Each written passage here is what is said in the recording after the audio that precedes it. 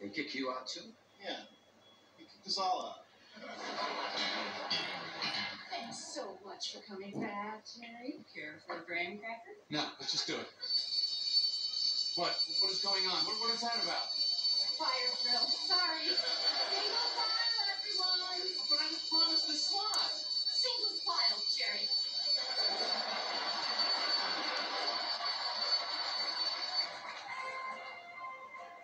Fire truth. Believe that? It was Pericles. Heracles is correct.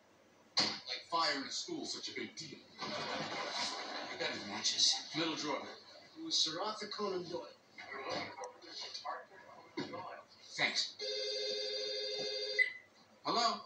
Oh, hi, Katie. I heard what happened to the junior high. They can't bump you like that. That is so unprofessional. Oh, relax, Katie. It's not a problem. It's Borax. You in junior high. The next thing you know, you're being bumped in high schools, colleges, trade schools. Before you know it, Letterman's not returning your calls. History. No, I don't have any histories. Cereal bowls. Jerry. No, Katie, don't. All right, thanks. It is tungsten or wolfram. We were looking for what is tungsten or wolfram.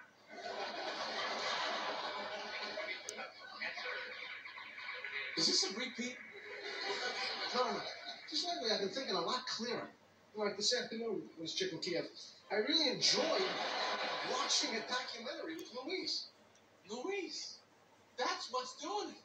You're no longer preoccupied with sex, so your mind is able to focus. Okay? Yeah, I mean, let's say this is your brain. Okay? Now, from what I know about you, your brain consists of two parts the intellect, represented here, and the part obsessed with sex. Now, granted, you have extracted an astonishing amount from this little scrap. But with no sex Louise, this previously useless lump is now functioning for the first time in its existence. Oh my God. I just remembered where I left my retainer in second grade.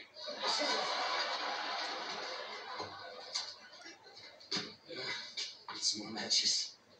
What's going on in there? I got some people smoking on the street, so I invited them to my apartment to smoke. Why? Somebody had to. You know, just because a person's a smoker, that doesn't mean he's not a human being. It doesn't? These people aren't going to let themselves be flipped into the ash bin of society.